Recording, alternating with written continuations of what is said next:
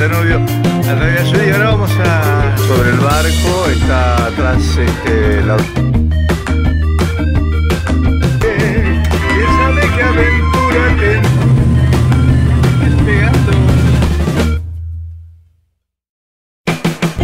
Y hay una película que se llama El hombre